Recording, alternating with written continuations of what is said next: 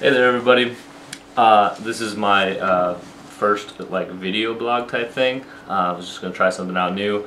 Um, one of the things I wanted to talk about um, was how this week's been super crazy and I haven't been able to do anything like uh, really Facebook or blog or or anything.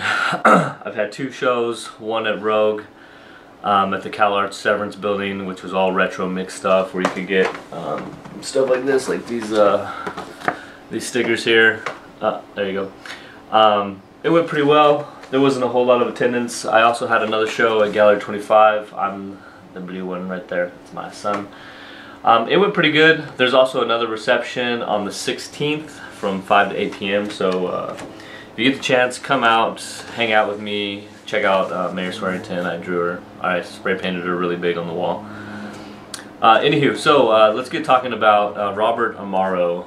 Here you go. This is his uh, new book. It's called Wrinkles, uh, drawings by Robert Amaro. Um, and it's actually a really good book, um, just visually um, stunning. Uh, I, the like he posted it on his website and said, or his uh, Facebook and was like, "Hey, I'm making this book," and I was immediately excited. I was just like, "Man, I gotta have that book." Uh, I already like his drawings. I've I've wanted to buy stuff from him in the past, but just you know, just didn't have the cash to do it.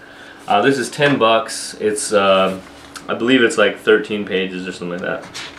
Let me count it out. Here, eight. So eight pages, front to back.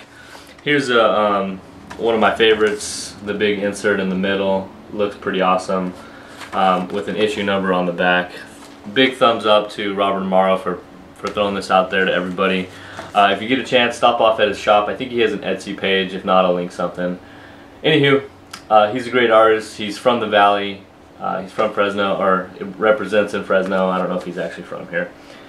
Uh, go out and check out his book. It's like 10 bucks. It's a good deal. And like always, uh, check out my stuff, check out my pages, uh, and uh, keep it real.